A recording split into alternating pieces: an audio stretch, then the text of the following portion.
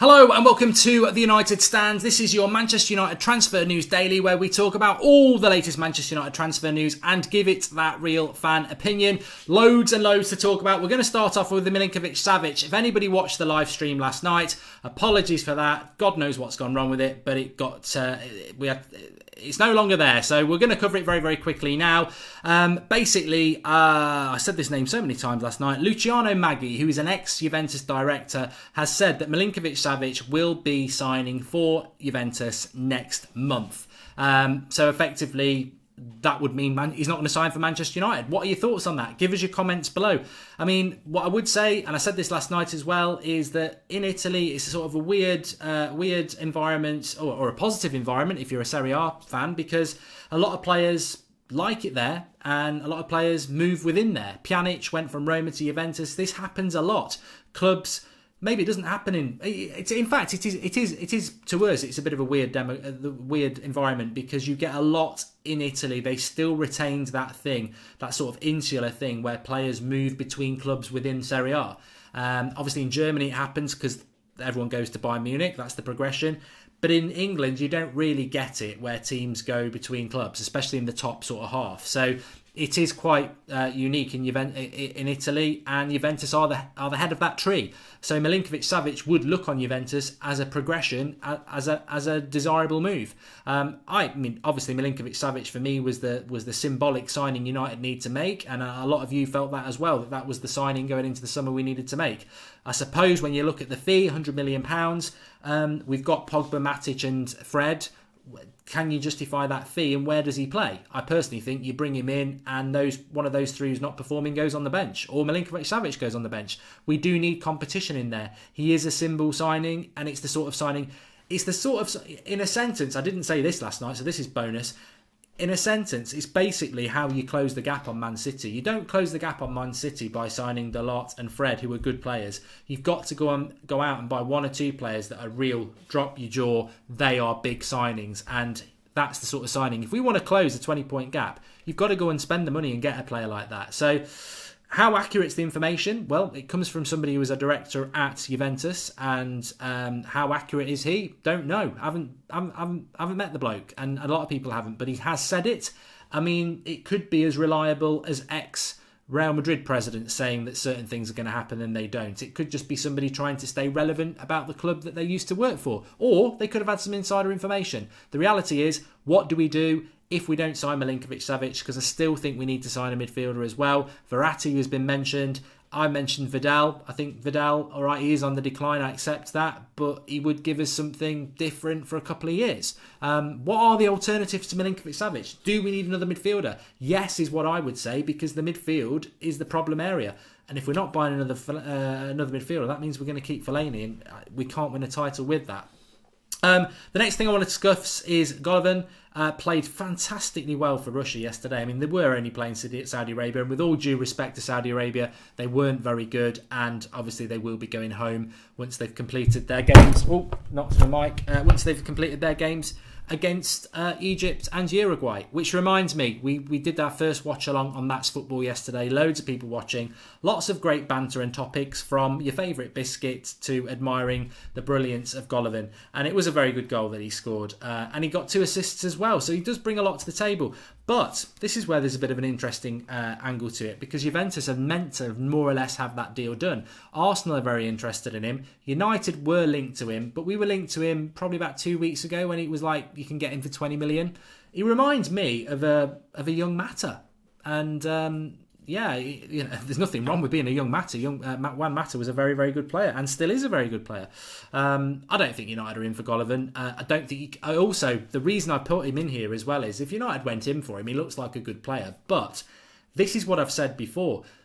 You've got to be very careful about the World Cup because people who perform well in a World Cup, it's it's it's almost, it's almost like a, a bit of a mirage because just because you play well in the World Cup, the standard of international football is way, way down compared to the standard of club football for many reasons. So just because somebody does well in the World Cup, you've got to be very careful that you don't react to that and say, oh, there's 40 million for Golovin. Because in the Premier League, it could just be a run of the mill player. I mean, look at the England squad. You've got players who, who are probably going to perform really well in this World Cup. Who are bang average. You know, Jordan Henderson, people like that. So you've, you've got to be careful about where the, the, the I mean, the, there are there are very good players in the World Cup, but it's very hard to gauge sometimes in relation to the oppositions that they're playing. But uh, he does look like a decent player. De Gea, I want to talk about De Gea in a very, very positive way because obviously the the Real, new Real Madrid manager, ex Spain coach, don't go down that route. Um, he is um, obviously uh, knows De Gea, and people were thinking, well, is he going to go there? And De Gea's comments were that I like United, but you know, never say never.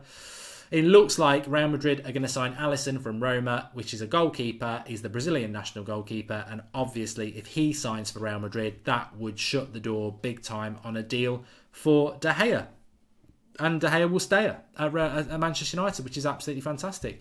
What intrigues me a little bit is that I thought Thibaut Courtois, Courtois was leaving Chelsea, and uh, where's he going to go? So um, you know, don't know. It's not it's not our problem, but uh, De Gea is our problem, and he's a very nice problem to have. And it looks like he will be staying at Manchester United, which is fantastic. And another one that might please somebody doesn't necessarily please me Chris Smalling's been linked with a move to West uh, West Ham. Now, Arsenal have been interested in Smalling in the past. That was in the Wenger days, and uh, th- this is where I find it interesting about what Manchester United's future is. I mean, Andrew Ellis, who's, who's a bit of a legend in the comments, he's always uh, been very anti Mourinho, and uh, he's very well known in the live comments. He came on the Skype show last night. Do give a give it a listen if you missed it. It was a very very good call, and. Um, he, he did mention that, that, that, one of the issues with Mourinho is, is, we don't know what his best 11 is. He just chops and changes the team all the time. And it would be very weird, I think, if we were to sell Chris Smalling, who has been such a fundamental part to Mourinho's first team plans last season, to then sell him. It sort of shows you this haphazard approach in I don't know whether there is I'm, I'm sure there isn't a haphazard approach at Manchester United and Mourinho does have a plan in mind but it comes across as haphazard to the fans because players that he seems to like would we would we sell? Players that he's begging to stay want to go. Uh, players we want to stay are saying they want to go. It's it's all a bit what is the plan? What is the plan? Rumours of Lindelof going on loan and another young centre back coming in. Rumours of Bay not getting on with the manager. I mean what what what is going on? What is our you know, Smalling seems to be somebody. Okay, he's a bit limited, but he is a player that Mourinho seems to trust. And then there's talk of him going. Um, it, I don't. I think this summer is just such so in the air. We don't know what's going to happen, do we? But going round in circle back to Milinkovic Savic, if he goes to Juventus, I wouldn't be surprised. Uh, I think Juventus, Real Madrid, Manchester United are probably going to be one of the three clubs he goes to, and I, I just be, uh, you, we don't know what's going on behind closed doors with Manchester United. For all we know, they might be waiting to sign Milinkovic, San, Milinkovic Savic, Sandro, and Ronaldo all on the same day in July, and it's been set in stone for a long time. We don't know that. But we can be sort of led by mood, and my mood at the moment is I just don't think that we are in for Milinkovic Savic, which is a shame because I think if you want to close a gap on Manchester City, that is the sort of signing that you have to go and make. And you know, I think Fred is a very good signing, but there is an element of adaptation. He's got to get used to the league. Is he going to hit the ground running? And I just think United need some star status. United need at least two players to come into that team.